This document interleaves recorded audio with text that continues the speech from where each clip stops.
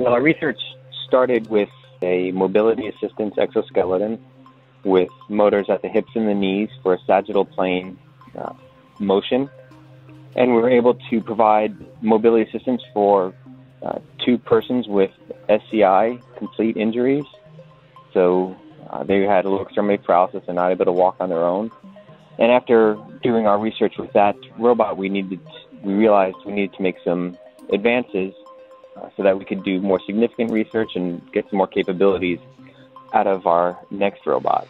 So, in our collaboration with NASA Johnson Space Center, we designed a robot called X1 exoskeleton, which also has motors at the hips and the knees, but it also has some advantages.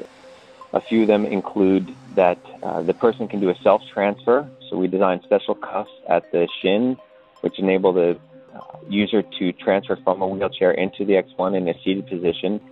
We also tested standing up and sitting down, uh, or sit to stand and stand to sit transfers from the exoskeleton.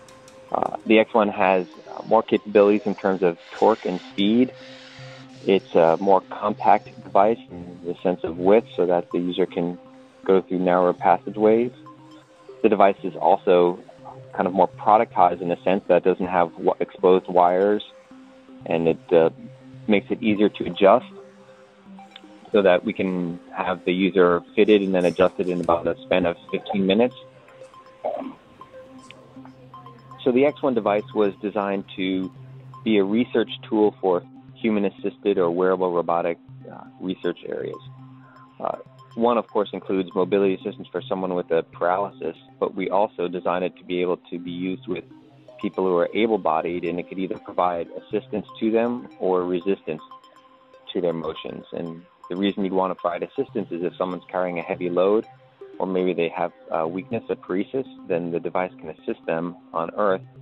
But NASA's interest in using this device is for a resistive or kind of the anti assist mode.